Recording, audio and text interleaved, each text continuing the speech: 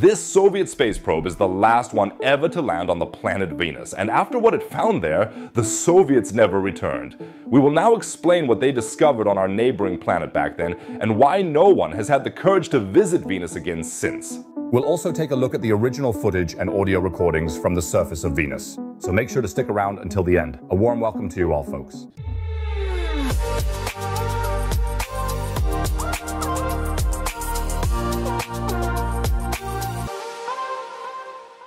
Venus is a damn strange planet. It is very similar to Earth in many ways, yet at the same time as different as can be. While everyone is talking about Mars these days, Venus was the absolute superstar in the early days of the space age, and for good reason. We can easily observe the surface of Mars from Earth with telescopes, so we knew early on what was going on there, which was basically sandstorms and a few rocks quietly rusting away.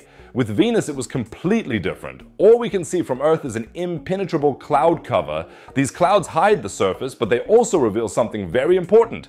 Venus must have a dense atmosphere, much denser than that of Mars and much more similar to that of Earth. And since Venus is also closer to the Sun than our planet, it must be really warm down there. This sparked the imagination at the time. Sci fi authors early on speculated that there was a dense alien rainforest beneath the clouds of Venus. Write me a comment and let me know which planet you find more exciting, Mars or Venus. What should human space travel focus on? I'm very curious to hear your thoughts, and if you're as enthusiastic about space topics as I am, then why not subscribe to the channel right now? It's free, you'll never miss a video again, and you'll be helping me out a lot. And if you've already subscribed, giving the video a thumbs up really helps. Maybe we can hit 5,000 likes to appease the YouTube algorithm. Thanks everyone. Yes, even in 1960, the rainforest theory was of course already science fiction. The famous astronomer Carl Sagan had already suggested back then that the impenetrable cloud cover might actually be the result of a runaway greenhouse effect. The world beneath the clouds would therefore be nothing more than a hellish world. But there was only one way to find out fly there and take a look. As with so many early milestones in the space race, the Soviets were the first to try. It was 1961 and the USSR had already taken a dominant lead. They had sent the first satellite into space, put the first human into orbit, and even sent the first probe to the moon. Venus seemed like the logical next target. The Soviets built two probes, Venera 1 and Venera 2. That was standard procedure at the time because there was a fairly high chance that one of them would fail. And one really cannot praise their ambition enough. Without modern onboard computers, using slide rules and primitive electronics, the Soviet engineers sent their probe on a ballistic journey to Venus. Both probes even came within 100,000 kilometers of Venus, but both suffered a complete system failure before they could reach their destination. Hardly any usable data. While the Soviets went back to the drawing board, NASA also continued. In 1962, the Americans succeeded where the Soviets had failed. NASA's Mariner 2 probe flew to within 35,000 kilometers of Venus and carried out the first successful close observation of another planet. What it found was disturbing. Temperatures of up to 237 degrees Celsius, not exactly perfect for a life-friendly alien paradise.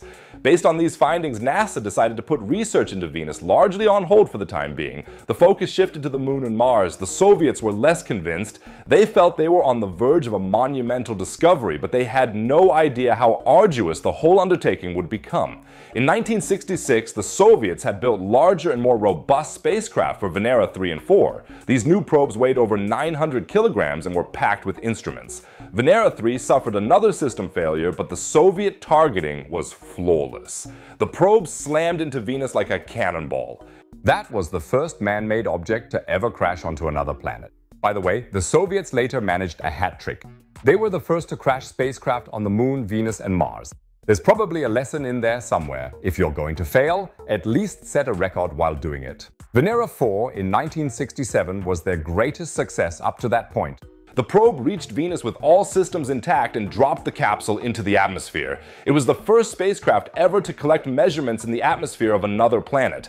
The data sent back revealed something fascinating. At high altitudes, the atmosphere of Venus is very similar to that of Earth on a warm summer day, almost a pleasant environment, but the deeper the probe descended, the more extreme the climate became.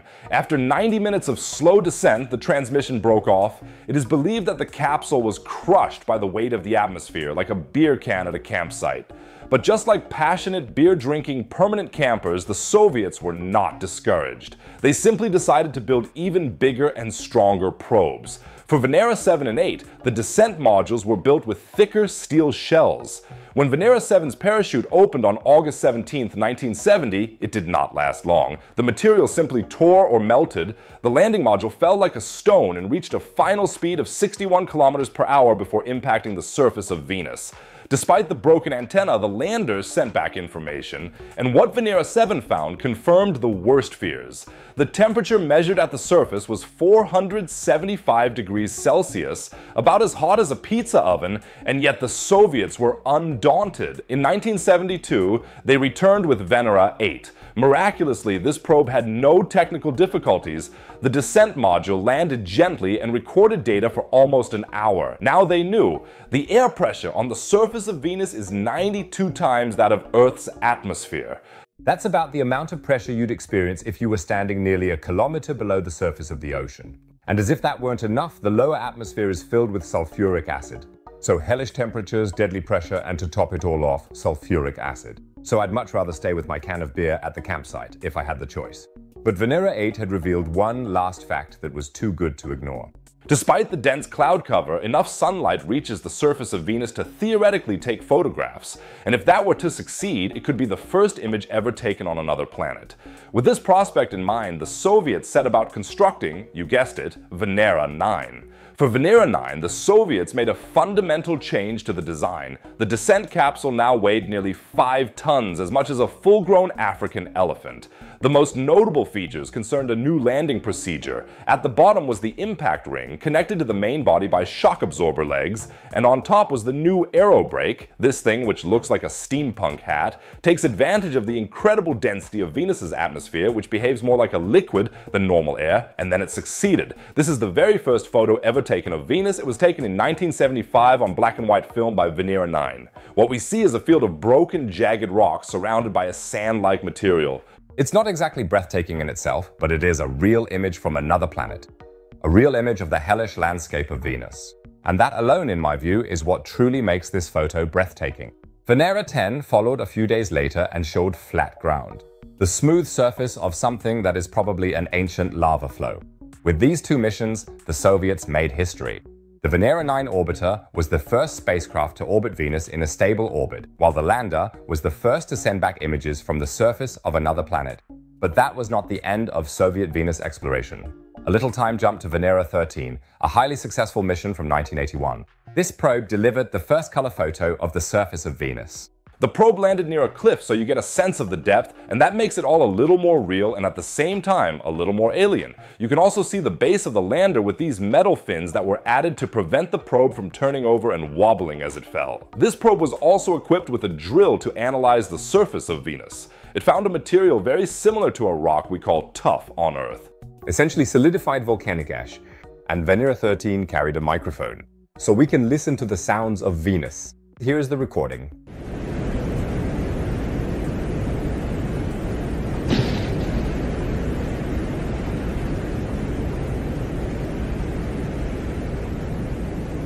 Absolutely crazy to hear real sounds from another planet, isn't it?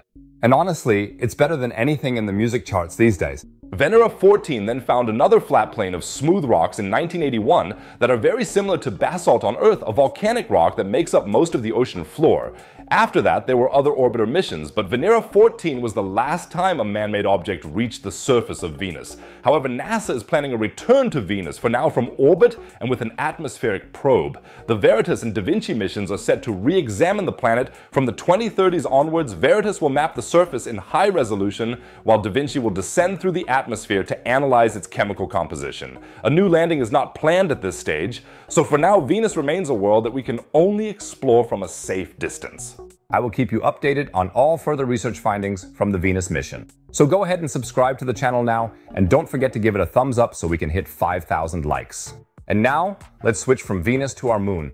Something absolutely incredible has just happened there. Scientists have observed a huge explosion on the surface of the moon live, and the footage is spectacular. You can find out exactly what happened up there and what it has to do with the strangest object in the solar system in the video shown above on the right. Be sure to check it out, it's very exciting. As always, there's another video about science and space at the bottom right. Otherwise, I'd say see you in the next video. Take care, folks.